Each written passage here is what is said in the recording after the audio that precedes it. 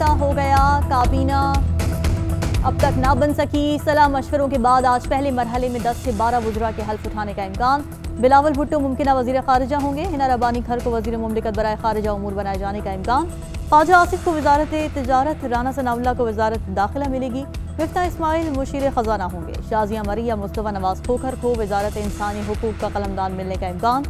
हुक्मरान इतिहाद की जानब से मुर्तजा जावेद अब्बासी को डिप्टी स्पीकर कौमी असम्बली बनाने पर गौर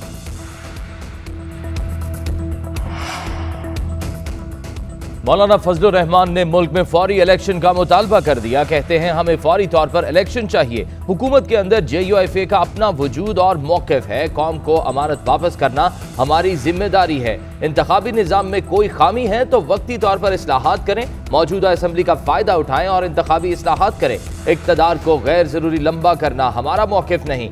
हम अपने मौकफ पर कायम हैं, मसलहत की भी हद होती है। पंजाब में इख्तियार की रस्साकशी गवर्नर उमर सरफराज चीमा का हमजा शहबाज से हल्फ लेने से इनकार, उधर गवर्नर पंजाब के प्रिंसिपल सेक्रेटरी ने ईवान में हंगामा रही से मुतालिक। सेक्रेटरी असम्बली की रिपोर्ट मुस्तरद कर दी।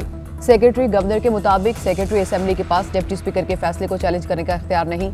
सेक्रेटरी पंजाब असम्बली की पेश करदा रिपोर्ट यकतरफा, जानबदार और सियासी मुहरकत के तहत तैयार की गई। सेक्रेटरी के खिलाफ गैर कानूनी रिपोर्ट तैयार करने पर तोहन अदालत की कार्रवाई होनी चाहिए।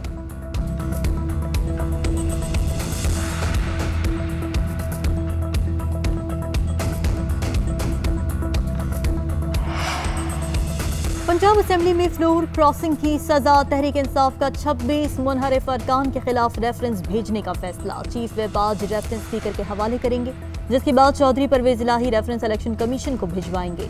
इलेक्शन कमीशन एक माह के अंदर रेफरेंस पर फैसला करने का पाबंद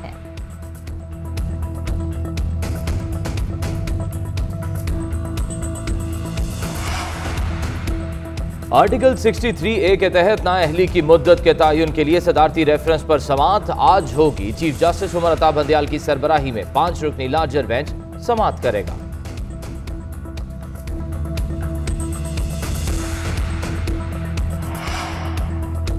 फौज और अवाम में खलीज नहीं डालने देंगे। Army chief general Qamar Javed बाजवापुर अजम, लाहौर गैरिजन में अफसरों और सबक फौजियों से गुफ्तु में आर्मी चीफ ने कहा, गलत मालूम और प्रोपोगंडे से रियासत में यकजहती को खतरात लाक होते हैं। दुश्मन कुतें तवील अरसे से इंतज़ार पैदा करने के लिए सरगर्म है। क्या सराइयों और अफवाहों का मुकाबला करने के लिए मुतहद रद्दमल की ज़रूरत है? जनरल कमर जावेद बाजवा का सी एम एच का दौरा, मेजर हारिस की आदत की, कहा कानून अपना रास्ता खुद बनाएगा? मुलजिमान को इंसाफ के कुटहरे में लाया जाएगा।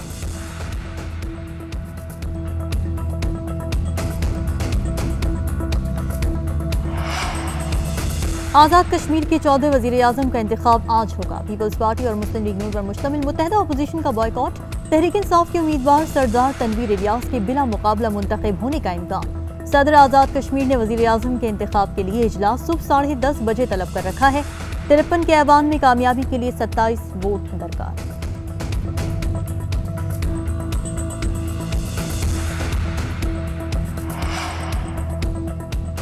एन तैंतीस हंगू में जीत तहरीक इंसाफ के नाम डॉक्टर नदीम ने मैदान मार लिया। जे यू आई के मुफ्ती उबैदुल्ला दूसरे नंबर पर रहे। पीटीआई रहनुमा असद उमर कहते हैं, वोटर को पता था, जीतने के बाद तहरीक इंसाफ के उम्मीदवार ने असेंबली में नहीं बैठना, फिर भी वोट दिया। अब कोई इमरान खान को नहीं रोक सकता।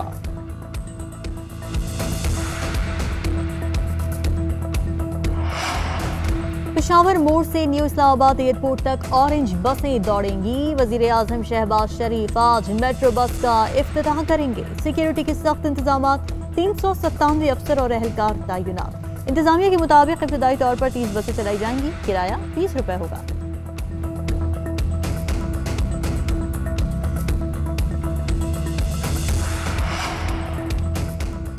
मौलाना फजल रहमान ने मुल्क में फौरी इलेक्शन का मुतालबा कर दिया। कहते हैं, हमें फौरी तौर पर इलेक्शन चाहिए। हुकूमत के अंदर जे यू एफ़ ए का अपना वजूद और मौकफ है। कौम को अमारत वापस करना हमारी ज़िम्मेदारी है।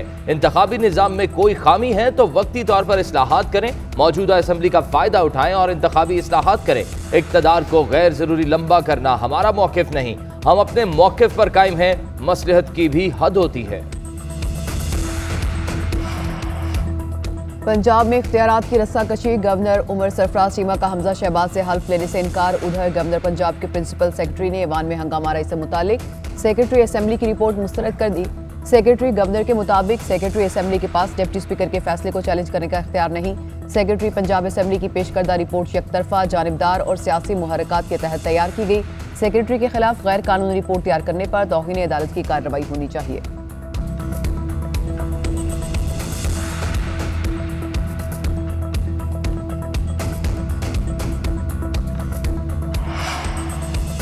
पंजाब असेंबली में फ्लोर क्रॉसिंग की सजा, तहरीक इंसाफ का 26 मुनहरफ अरकान के खिलाफ रेफरेंस भेजने का फैसला। चीफ वेब आज रेफरेंस स्पीकर के हवाले करेंगे, जिसके बाद Chaudhry Parvez Elahi reference election commission को भिजवाएँगे।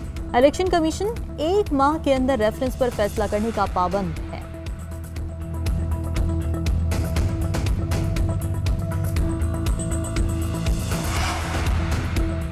आर्टिकल 63 ए के तहत नाअहली की मुद्दत के तयन के लिए सदारती रेफरेंस पर समात आज होगी। चीफ जस्टिस उमर अता बंदयाल की सरबराही में पाँच रुकनी लार्जर बेंच समात करेगा।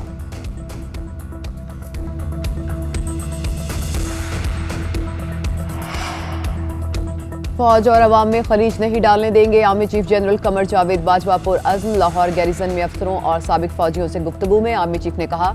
गलत मालूम और प्रोपोगंडे से रियासत में यकजहती को खतरात लाक होते हैं। दुश्मन कुतें तवील अरसे से इंतशार पैदा करने के लिए सरगर्म है। क्या सराइयों और अफवाहों का मुकाबला करने के लिए मुतहद रद्दमल की ज़रूरत है? जनरल कमर जावेद बाजवा का सी एम एच का दौरा, मेजर हारिस की आदत की, कहा कानून अपना रास्ता खुद बनाएगा, मुलजिमान को इंसाफ के कुटहरे में लाया जाएगा।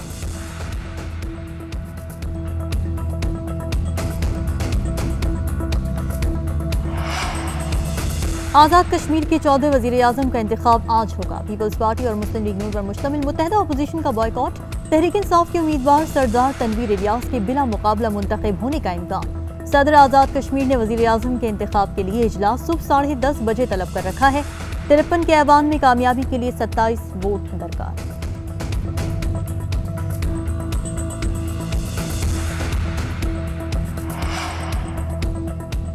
एन तैंतीस हंगू में जीत, तहरीक इंसाफ के नाम, डॉक्टर नदीम ने मैदान मार लिया। जे यू आई के मुफ्ती उबैदुल्ला दूसरे नंबर पर रहे। पीटीआई रहनुमा असद उमर कहते हैं, वोटर को पता था, जीतने के बाद तहरीक इंसाफ के उम्मीदवार ने असेंबली में नहीं बैठना, फिर भी वोट दिया। अब कोई इमरान खान को नहीं रोक सकता।